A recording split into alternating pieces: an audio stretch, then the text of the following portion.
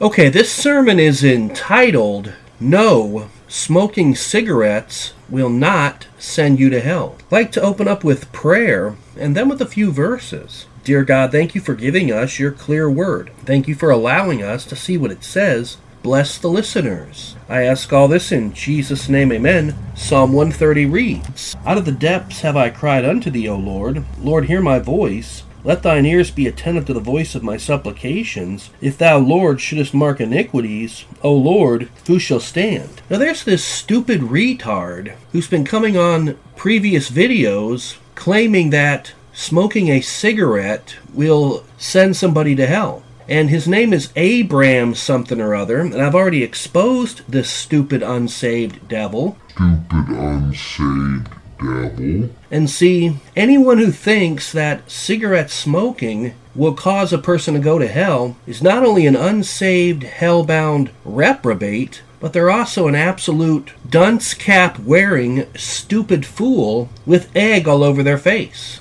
Because they actually believe that it is sin that sends a person to hell. And this tells you that they reject the gospel, they don't believe the promise of life as found in the scripture, and they have another Jesus who didn't pay for all sins. And see, when it comes to false gospels, rejecting the payment Jesus made for sins is a common thread. And it doesn't matter what the false gospel is. For instance, ROYS is a rejection of the sacrificial payment Jesus made, because in ROYS, the finished work of Christ is superseded by man attempting to eradicate his own sin problem. Then, of course, you have salvific loss, or the denial of once saved, always saved. They don't believe Jesus paid for all sins because certain sins will send you to hell. And that's the issue with believing that smoking cigarettes will send you to hell. Now turn over to John chapter 1. In John chapter 1, we see that Jesus not only died for the sins of the believer, but he died for the sins of the unbeliever as well.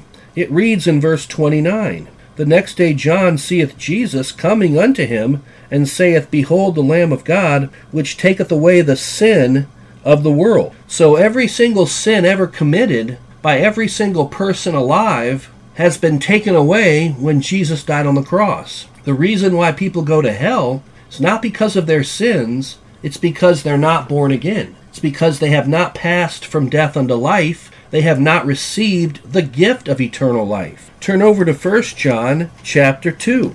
It reads in verse 2, let's back it up to verse 1 My little children, these things write I unto you, that she sin not. And if any man sin, we have an advocate with the Father, Jesus Christ the righteous. Now, in verse 1, this is addressing believers. But in verse 2, it tells us that he is the propitiation for our sins, and not for ours only, but also for the sins of the whole world. So, sin is not the issue when it comes to salvation. Lewis Sperry Chafer said it best we don't have a sin problem, we have a son problem. And that would be the case with those who do not believe on Christ. And it has nothing to do with whether you smoke cigarettes or not. A person goes to hell because they have never believed on Jesus Christ for salvation. John 3:18 He that believeth on him is not condemned, but he that believeth not is condemned already because he hath not believed in the name of the only begotten Son of God. If you've always believed that cigarette smoking will send you to hell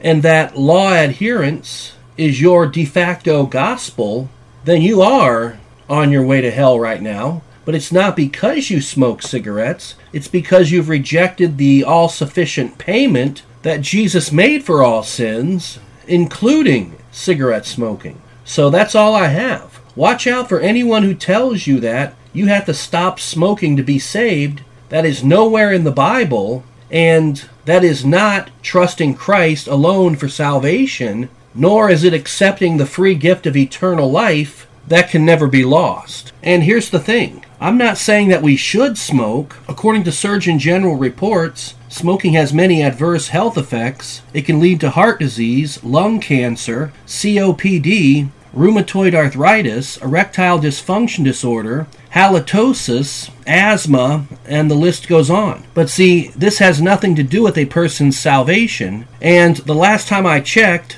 smoking was not the unpardonable sin. So that's all I have. Let me go ahead and close in prayer. Dear God, thank you for giving us your clear word. Thank you for allowing us to see what it says. Bless the listeners. I ask all this in Jesus' name, amen.